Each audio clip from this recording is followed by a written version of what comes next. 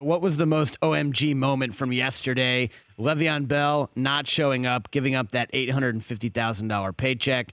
Aaron Rodgers returns to lead the Packer comeback. Saints giving up 48 points at home to Fitzmagic.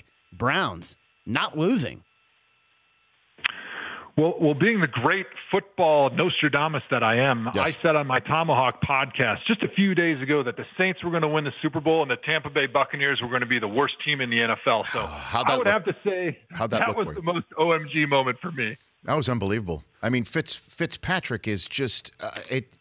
He's he's got like it, don't talk about boom or bust. I mean, it's unbelievable. There's not a window he doesn't think he could fit it in, but he also showed what how this offense can work. Right, Joe?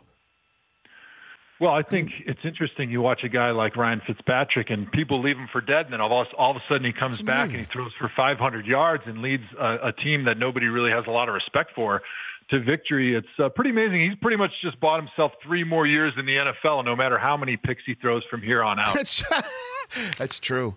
That's true. So, did you miss it yesterday? Did you miss the game yesterday, Joe? You know, it's funny that that's the question everybody asked me this offseason, and um, going into this game, I hadn't had that moment where I was like, wow, I really miss it. Even watching Hard Knocks and seeing all my brothers out there for the Browns, I didn't really miss it. But then you turn it on in opening day, it just got something special. When you watch those players running out of that tunnel and that emotion is real for the first time, you see the fans there and the pageantry and the pomp and circumstance that surrounds opening day. And then you just think back to my 11 years in the NFL and, and the emotion that came over your body on opening day.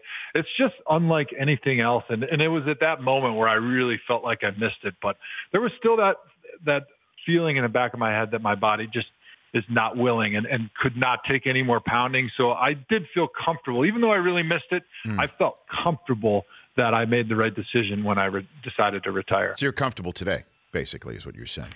Today's what I'm saying day. is, I got out of bed and I didn't need a walker, and so I felt mm. really good about myself that I didn't play in a game yesterday. The Rich Eisen Show, weekdays at noon Eastern on Audience.